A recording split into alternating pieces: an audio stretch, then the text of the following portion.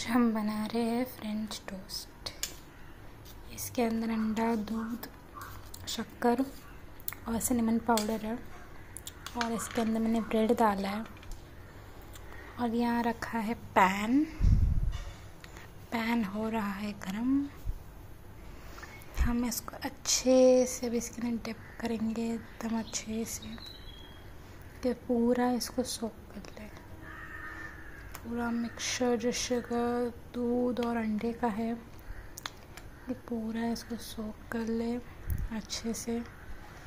आप चाहे तो इसके ऊपर दो मिनट रख भी सकते हो ऐसे। ही कि पाव है ना, टूटता नहीं है टाइम लगता है उसको टूटने के लिए।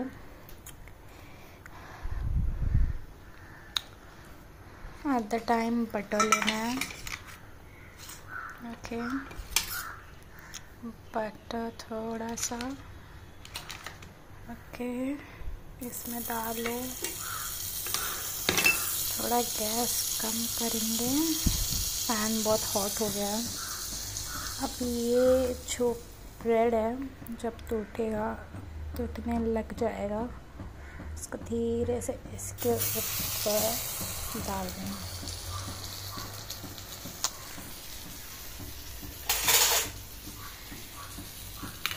देखो, मैंने गैस एकदम स्लो रखा है। और ये थोड़ा सा मिक्सचर हम लेंगे। इसके ऊपर डालेंगे। कि फिर बोलते हैं ना, कि ब्रेड ज़्यादा फिर ब्रेडी ब्रेडी ना लगे। जब हम खाते हैं ना तो ज़्यादा ब्रेड ब्रेड लगता है। तो ये करने से ना, एकदम मतलब सॉफ्ट बनेगा और अच्छा बनेगा। सो so, ये अभी इसको ऐसे ही रखे थोड़े टाइम के लिए तब तक ये अच्छे से ब्राउन ना हो जाए। हम जैसे देख रहे हो मैंने ऊपर डाला था थोड़ा और इसका बैटर वो पूरा सोख लिया है। तो अब इतना नहीं है। अब धीरे धीरे इसको थोड़ा हिलाओ। थोड़ा पका नहीं है थोड़ा लग रहा है। अभी तक पका नहीं है। जब तक वो पक जाए, तब तक हम अपनी दूसरी ब्रेड डाल देंगे, ये बैटर में। ये ब्रेड भी उसको सोख ले। ओके? ऐसे इसको पूरी तरीके से इसके ऊपर डालो। अच्छे से मिलाओ सब कुछ। मेन मेन थिंग ये है ना कि दूध, अंडा और शक्कर का जो ये बैटर बनाया ना मैंने, वो अच्छे से आप मिलाना उसको। अगर आप नहीं मिलाओगे ना तो पूरा शक्कर है ना ऐसे नीचे रह जाएगा ऐसे वो कड़कड़ हो जाएगा। तो ये टेस्ट अच्छा नहीं आएगा। सो so, ये फॉर्मूला आप करना। और मुझे लगता है ना ये कई गुना बेटर है। आप जो बाहर से चॉकलेट से या कुछ भी खाते हो उससे बेटर है। मतलब लो कॉस्ट फटाक से बन जाता है।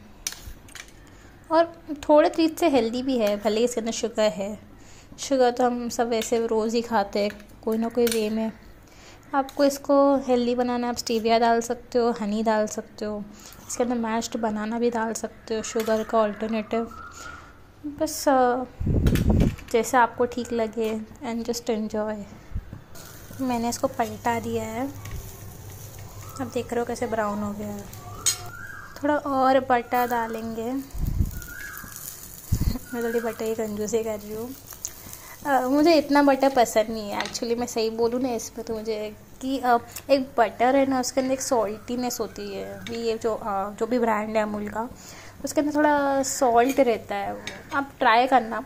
बटर के अंदर थोड़ा सॉल्ट रहता है तो फिर ये थोड़ा शुगर से ज़्यादा सॉल्टी थोड़ा लगने लगता है ज़्यादा बटर डालने से।